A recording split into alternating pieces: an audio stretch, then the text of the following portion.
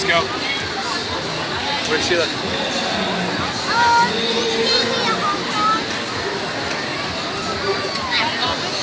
Unless it's pouring buckets on the 31st, I'm not riding rides. Same.